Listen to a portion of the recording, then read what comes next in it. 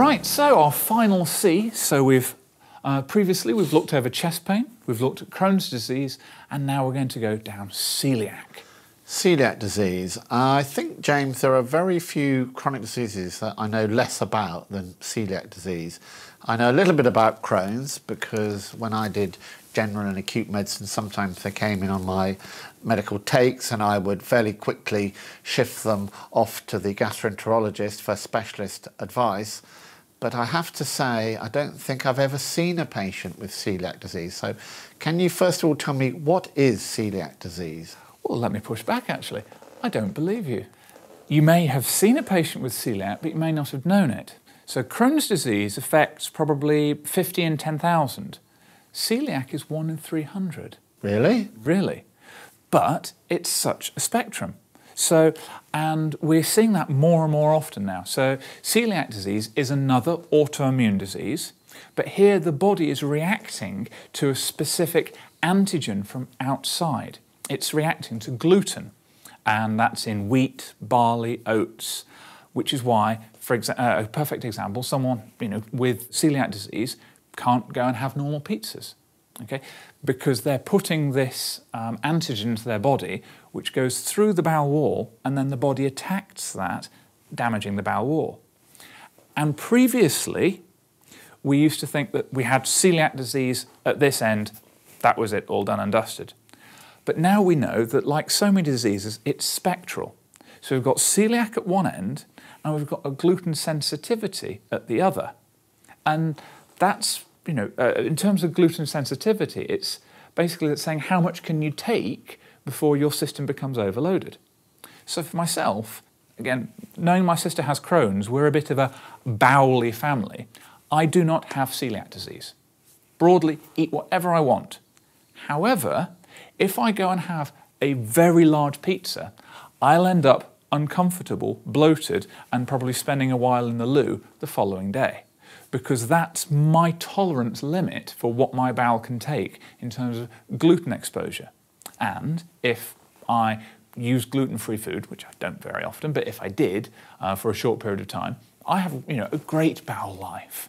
But just occasionally, eating too much will uh, set me off because I'm on the very bottom end of the scale there. Talking of bottoms, I wonder whether the viewers out there, James, would like to hear the details of your bowel habit.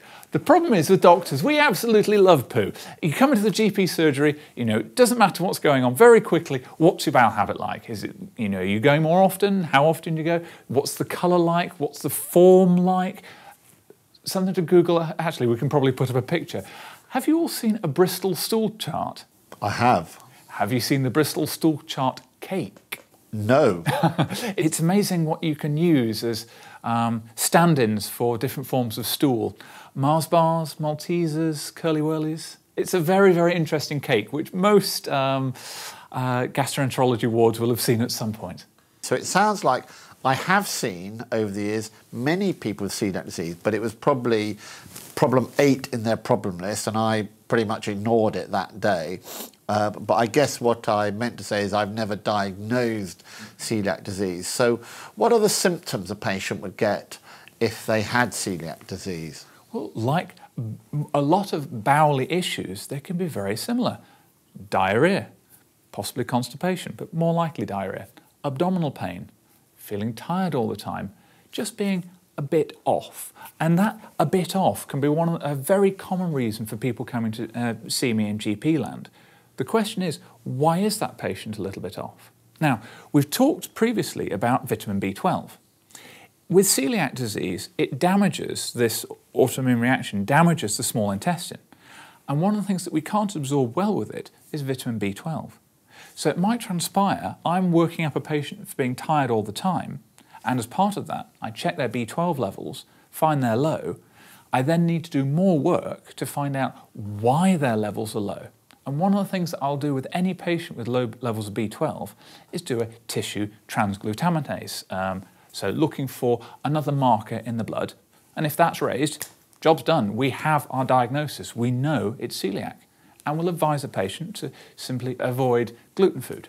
So it can be diagnosed on the basis of a blood test. You don't actually have to put a telescope in the bowel and biopsy the bowel, for example. That is the gold standard. So again, it's the small intestine that's affected. So we'd want to do an OGD, we'd want to do a gastroscope, gastroscope all the way through and get a small biopsy in a patient who we couldn't nail the diagnosis for whatever reason.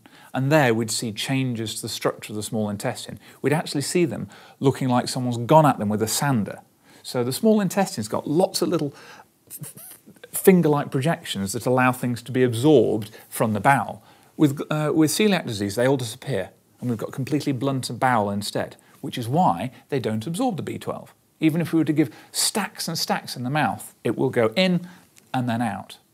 But if we've got a positive test uh, in terms of the blood, we don't need to put that patient through the extra risk of having an OGD.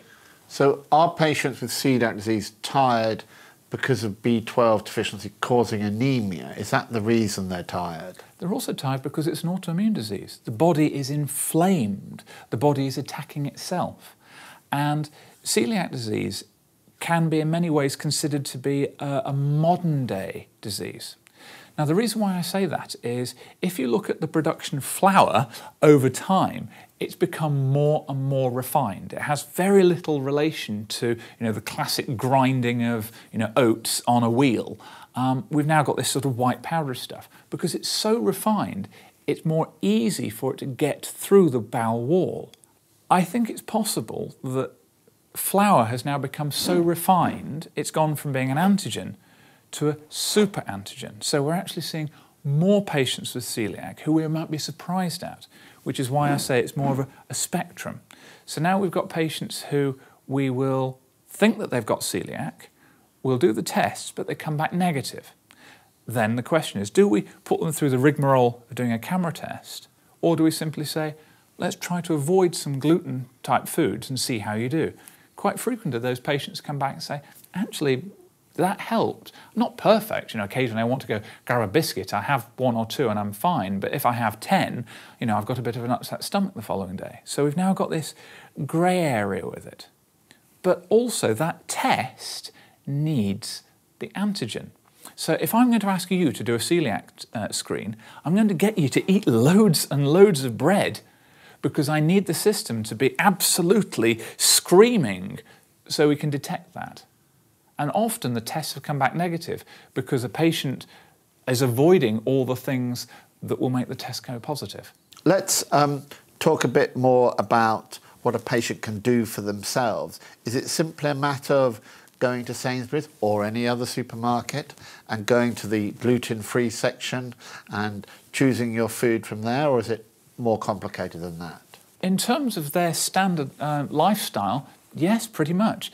If you have a defined diagnosis of celiac disease and you're severe, you know, you, not the gluten sensitivity, then we want you to absolutely avoid that, uh, these foodstuffs. And as a result, on the NHS, you can actually have gluten-free food prescribed. We can provide you with you know, specific loaves of bread and things like that. Now, there is a debate as to whether or not, given the cost of um, uh, gluten-free food is reduced, and is now much more available, whether or not that should continue on. But it is still uh, something that's available at the moment. I didn't know that. Uh, but being an autoimmune disease, presumably there are patients with a more severe form, and do they need steroids or something like the drugs we give in Crohn's disease, like we talked about earlier? No, say if we stop the, um, the, the gluten, we stop the disease. Really? So quite simple. Mm-hmm. Now, this does link with some of the bits uh, with regard to Crohn's disease. We think that Crohn's, in terms of the autoimmune side of things, is affected by the gut microbiome. So, if a patient is having a low fibre diet, so it's recommended that you have at least 25 grams of fibre in your diet a day we know that if you're failing to get that amount of fibre in your diet, it increases your risk, anybody's risk, of getting Crohn's by 30%. Similarly, what we eat is hugely important to bowel health. And there we're seeing that with celiac. You're having this food that's causing problems, and I bet you a pound to a pinch of salt that is also going to be affecting the gut microbiome. But that's, that's you know, a new field of science that we're currently exploring. And people are beginning to talk about giving things like fecal transplants, taking feces from well patients and putting those via the back passage into patients that are unwell with Crohn's, inflammatory bowel disease, other bowel related issues like that, to try and replenish good bacteria in the bowel. I'm sure you've seen plenty of patients with C. diff in the hospitals who we can't get a handle on the treatment of. Yes, I have, and C. diff is a major problem in most hospitals, and intermittently we have outbreaks on our ward. Um, I think it's probably a subject for a discussion on another day, another C, C. diff. But my uh, point there was that we are using fecal transplants as a treatment to cause C. diff remission in patients that we've not been able to treat. I didn't know that. It's amazing what you can learn here, viewers, isn't it? Right, I think on that note, uh, we'll move on.